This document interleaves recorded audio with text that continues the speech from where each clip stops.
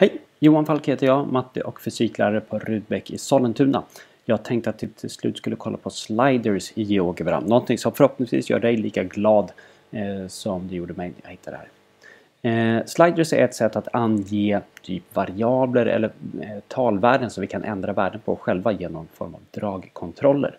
Jag tänker demonstrera det här genom ett exempel med räta linjen för jag tycker att det är ett rätt så smidigt sätt att visa vad det här handlar om. Här har jag ett nytt GeoGebra-fönster och här näst längst ut till höger finns slider som heter glidare på svenska men jag tycker slider låter bättre så jag använder det namnet. Om vi klickar här så kan vi sätta in en slider. Eh, jag väljer bara slider här. Det finns andra möjligheter också. Så jag klickar någonstans i ritområdet där jag vill ha en dragkontroll. Klick. Eh, så får jag upp inställningarna, inställningar för den här slidern och jag kommer kalla den här inte för A utan för K. För det känns bra. Och sen säger jag verkställa. Får jag upp den här, det blir en väldigt tjock linje för jag lyckas inte återställa de inställningarna tydligen. Om jag nu trycker Escape, inte sätter ut nya slides för den här fortsätter vara markerad.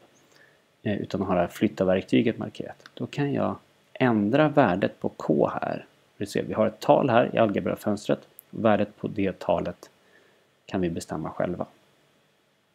Tänker jag skicka in en ny slider. En till här. Och den får heta M. Du kan nog gissa varför.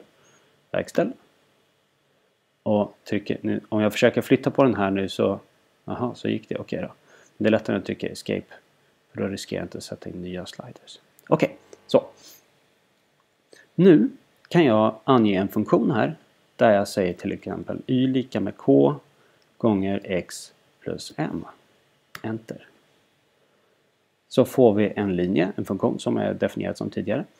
Eh, och de här värdena, eh, eller uttrycket i den här funktionen kan vi påverka med den här slidern. Så vi kan ändra k-värdet. Vi kan ändra m-värdet och se hur den här funktionen beter sig. Ganska smidigt. Ehm, och det här kan du göra med alla typer av funktioner. Om du har synsfunktioner istället så kan du liksom ändra amplitud och periodtid och sådana saker med hjälp av sliders. Ehm, vad du nu känner för. Ehm, det är sliders. Sliders kan vara lite knepiga. Om jag zoomar in och ut så märker jag att sliders ligger kvar på ett och samma ställe. Och det är oftast det man vill ha. Men ibland vill man kunna flytta på dem och då säger jag bara äh, jag kan inte flytta på den här. Om du högerklickar eh, och tar bort den här lås objekt. Då kan vi flytta på den här. Jag kan göra samma sak med den här. Flytta den. När du har flyttat klart den då vill du förmodligen låsa fast dem igen. Så kanske att det finns ett val här också. Absolut position i fönstret. Om vi stänger av det då kommer vi zooma in och ut och den här sliden hänger med. Liksom.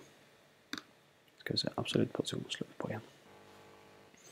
Om du av någon anledning inte vill ha steglängd 0,1 och värden som går mellan minus 5 och 5 som är standard så kan du högerklicka, välja egenskaper och nu ska vi se här nu är det inte jättesnyggt med mina stora siffror längre. Eller stora tecken. Minvärde, maxvärde, steglängd kan man ange. Eh, och det finns andra inställningar här också som du jättegärna får leka med. Eh, gör det, det är roligt. Liksom. Eh, och i allmänhet, i GeoGebra finns det massor med inställningar, massor med verktyg och jag kan typ 1% av dem.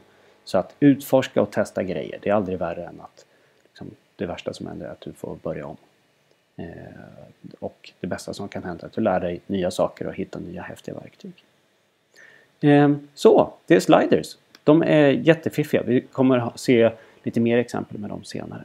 Men det här får duga just nu. Tack så mycket. Hej då!